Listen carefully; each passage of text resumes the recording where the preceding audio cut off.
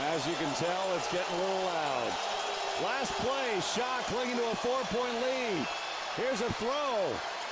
Off the net. Caught! Caught for the touchdown!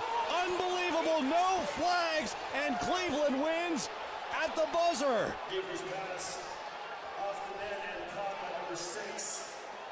Perfectly executed. Thyron Dieker Lewis. to Lewis. Stunned silence here in Spokane. Cleveland wins as time expires on the Hail Mary off the net. Lewis, the touchdown grab. And